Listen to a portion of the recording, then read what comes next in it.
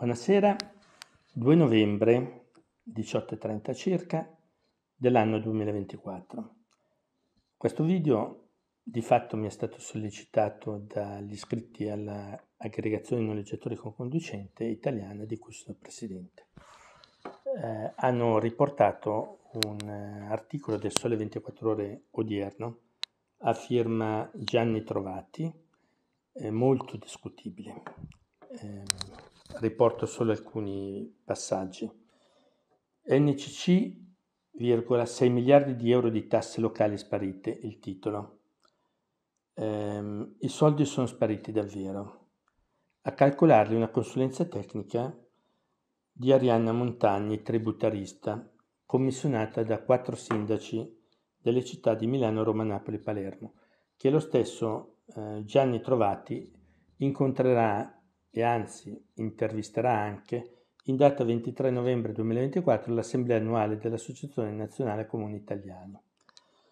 Eh, quindi il collegamento io l'ho trovato in un modo talmente lineare che ehm, lo dico a tutti qui.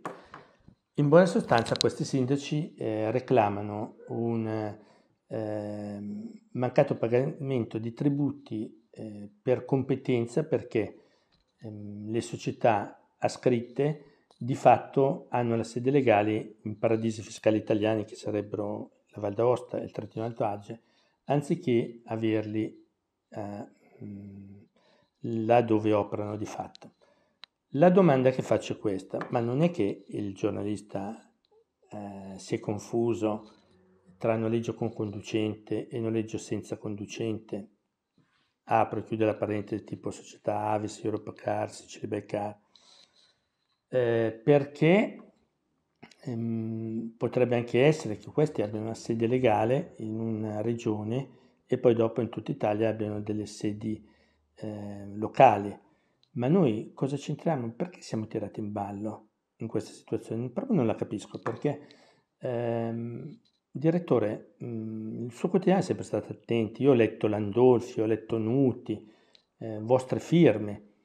Eh, il giornalista che leggo adesso, pur se evidentemente uno che è quotato perché per avere incarichi poi eh, di moderatore in eh, certi ambiti, eh, lo è. Eh, però mh, mm, butto lì anche delle ipotesi. Potrebbe anche semplicemente essere che alcuni noleggiatori prendono le macchine in leasing, per cui le società abbiano mh, sede poi in queste due regioni citate eh, in particolare. Potrebbe anche essere che le motorizzazioni di quelle due regioni siano più efficienti ed efficaci di altre, ma potrebbe essere tutto. Però un minimo di verifica sui dati, direttore, eh, mi creda, ho Mm, fatto la sommatoria di quelli che sarebbero i veicoli, i veicoli immatricolati, attenzione, stimo io che si parli di un anno, perché poi se mi dicono i veicoli immatricolati in 20 anni, allora dovete specificare che è in 20 anni, perché ehm, la persona intelligente intuisce che quali sarebbero i, veicoli immatricolati nel corso di un anno. Se sono 405.000 e le imprese di noleggio sono, eh, hanno autorizzazioni fino a 9 posti nell'ambito di 28.000 in Italia, ma lei ci crede o potrebbe arrivare a credere che un noleggiatore cambia un veicolo ogni 20 giorni? Direttore, la cosa è grave, però la figura di elusori fiscali è stata fatta fare a noi, società di noleggio con conducenti che normalmente normalmente pagano almeno il doppio o il triplo delle tasse rispetto al nostro concorrente che ha una macchina bianca che, come avete sempre spesso sottolineato in passato, non ci si spiega come mai eh, non supera i 15.000 euro, 20.000 euro di reddito annuo. Allora, direttore, le chiedo cortesemente, ehm, riprenda il giornalista e ehm, faccia fare un pezzo di chiarimento su quanto è stato riportato perché noi noleggiatori con conducenti, le nostre famiglie, non abbiamo la disponibilità, non vogliamo, non ci teniamo a passare per i furbetti del quartierino.